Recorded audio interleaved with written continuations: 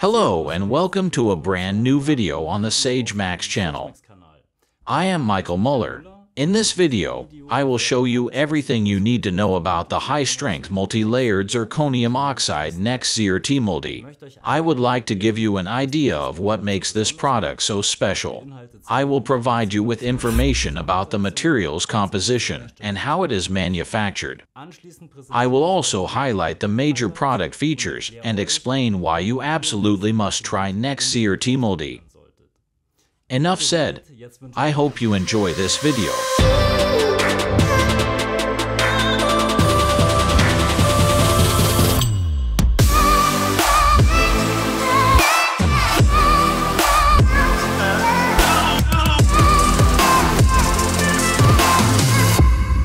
First of all, I would like to talk about the composition of the material, which is very special indeed. NexxZr T Multi is composed of two different types of zirconium oxide. What is this all about? Zirconium oxide is generally classified into three types on the basis of its yttrium oxide content. The different types of material exhibit different properties. The three different types of zirconium are shown here. They are divided into the categories of 3Y, 4Y and 5YTZP zirconium oxide. The abbreviation YTZP is short for yttria stabilized tetragonal zirconia polycrystals. In each case, yttrium oxide has been used as a dopant to stabilize the tetragonal phase of the material. The number before the abbreviation YTZP, for example, the number 3, indicates the amount of dopant used. In the case of 3YTZP, the number 3 represents 3 mol percent yttrium oxide. In turn, the yttrium oxide content affects the percentage of the phases that exist at room temperature. For example, the tetragonal or cubic phase. This is clearly visible in the diagram. Let us first look at 3YTZP. As mentioned, its yttrium oxide content is 3 mol percent. This yttrium oxide content is responsible for a tetragonal phase of almost 100%. As you probably know, the tetragonal phase exhibits the highest possible mechanical properties because of martensitic phase transformation. Therefore, in contrast to the other types of zirconium oxide, 3YTZP shows the highest flexural strength as well as the highest fracture toughness. The fracture toughness of a material expresses its resistance to crack propagation. The stress intensity factor is known as K1C. This value describes the stage at which crack propagation starts. Therefore, a higher value clearly promises more reliability with regard to long-term stability. When we consider translucency, however, you will notice that 3YTZP exhibits the lowest translucency compared with the other zirconium oxide types. This is caused by the small grain size of the tetragonal phase and the resulting higher concentration of grain boundaries, which in turn is responsible for the high double refraction and light diffusion. Raising the yttrium content increases the percentage of the cubic phase. For example, the cubic phase of 4YTZP is about 25% and of 5YTZP about 50%. At a microstructural level, the cubic phase can be identified on the basis of the larger grain size. The cubic phase also influences the mechanical and optical properties of zirconium oxide. A heightened yttrium oxide content increases the translucency of a material, but decreases its flexural strength and fracture toughness. As mentioned, the occurrence of the cubic phase is responsible for these properties. It is possible to increase the content of yttrium oxide. Nevertheless, the physical properties will further decrease as a result.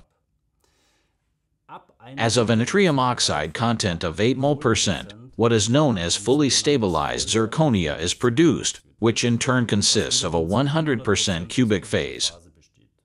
because of its Po-mechanical properties. However, fully stabilized zirconia is hardly ever used. In sum, the yttrium oxide content influences the physical and optical properties of zirconium oxide. What does this mean in relation to NexxZr T Multi? As I mentioned at the beginning, the product consists of two different types of zirconium oxide. It is a combination of the high-strength 3YTZP and the highly translucent 5YTZP. Before I talk about the advantages of this special combination, however, I would like to show you how these two different types of zirconium oxide are joined together. As mentioned, NexxZr T Multi consists of two different types of zirconium oxide. To help you visualize the product, we have colored a powder in turquoise blue to represent 3YTZP and one in white to represent 5YTZP. In order to combine these two types of zirconium oxide, the powders have to be modified with special additives.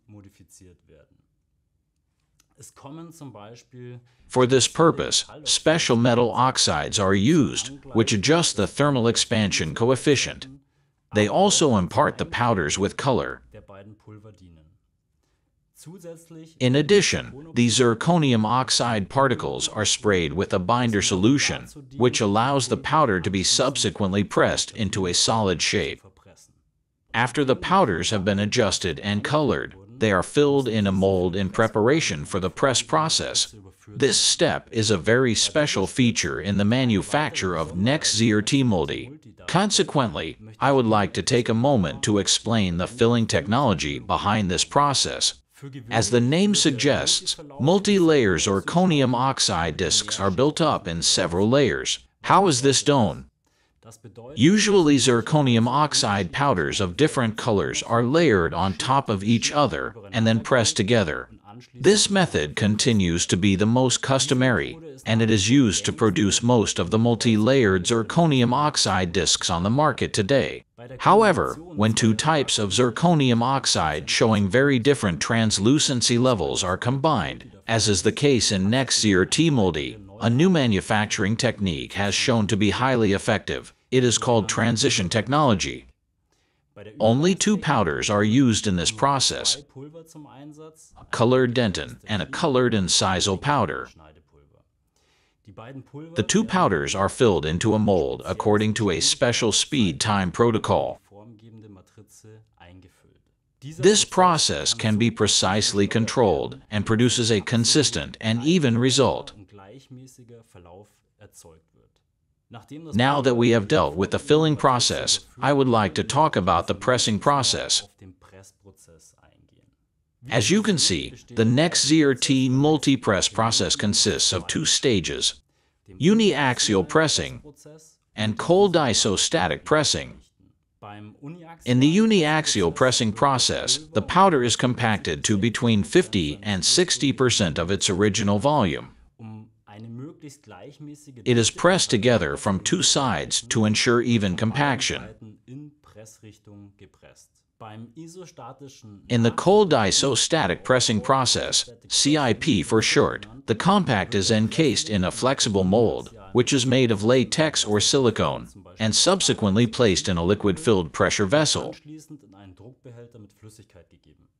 Very high pressure is applied to the liquid, whereby consistent hydrostatic pressure of about 3,500 bar is exerted on the compact from all sides. To give you an idea of the intensity of the pressure, imagine an average-sized elephant stepping on your little toe. What are the benefits of cold isostatic pressing?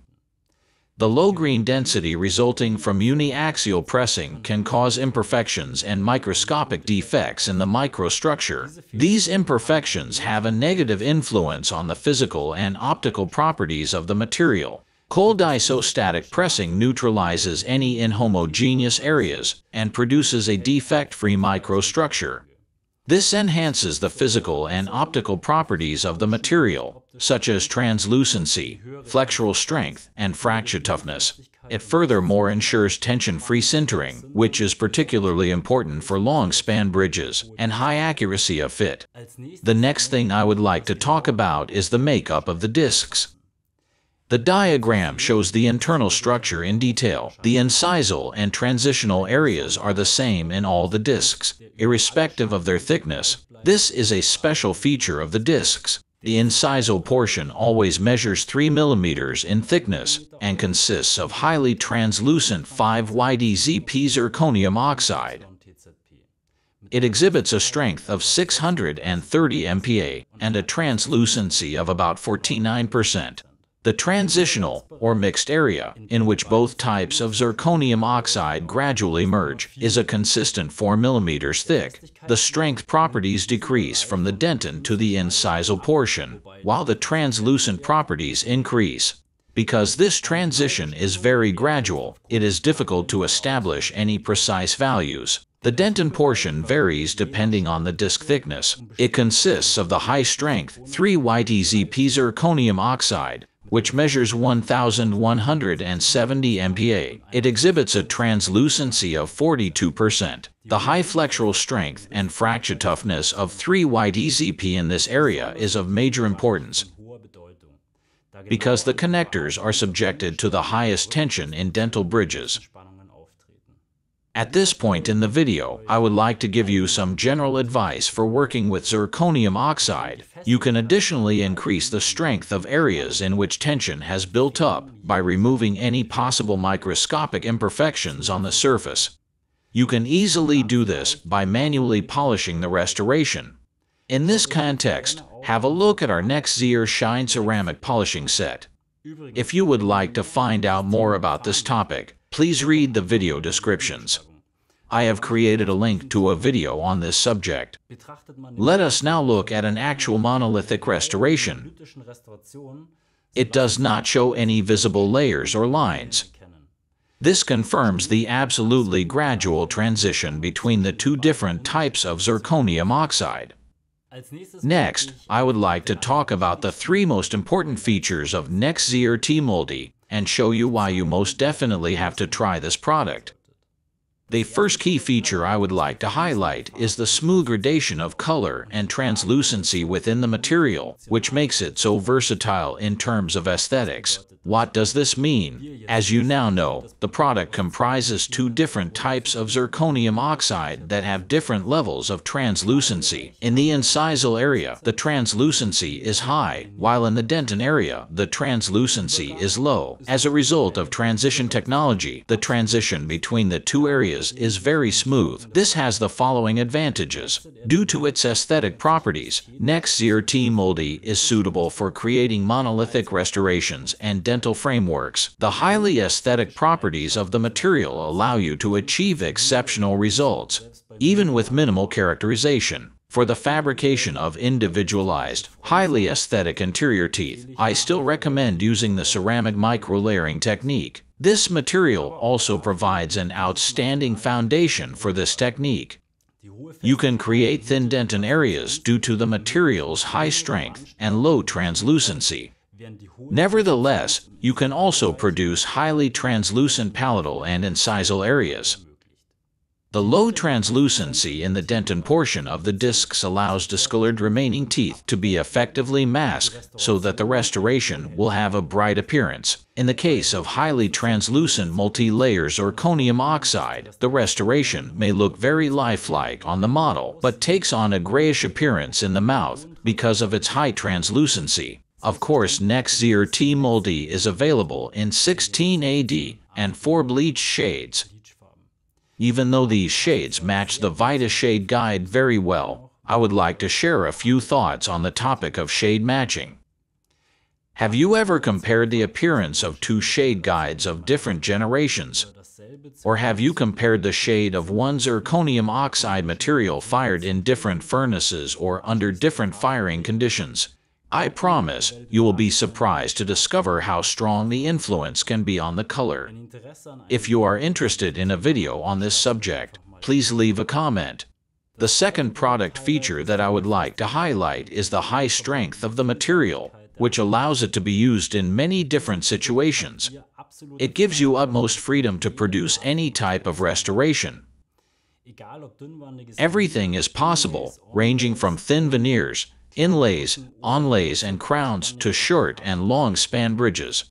As mentioned, the material derives its high strength from the 3YTZP zirconium oxide that makes up the dentin portion of the disc. The product accommodates all types of fabrication techniques. You can customize it by using the infiltration, staining or ceramic layering technique. When you use a layering ceramic, make sure that it is approved for use with zirconium oxide and that the CT of the ceramic is approximately 5 to 10% below that of the zirconium oxide.